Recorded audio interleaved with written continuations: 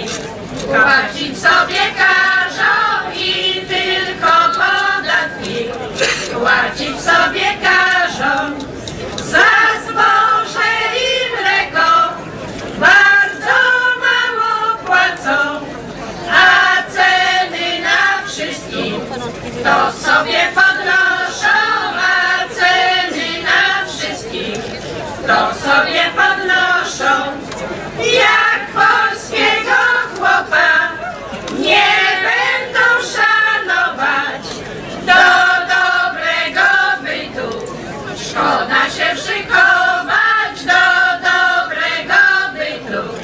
Szkoda się szykować, bo z rolniczą pracą to się nikt nie liczy. Wszystko by zginęło, żeby nie rolnicy. Wszystko by zginęło, żeby nie rolnicy. Tak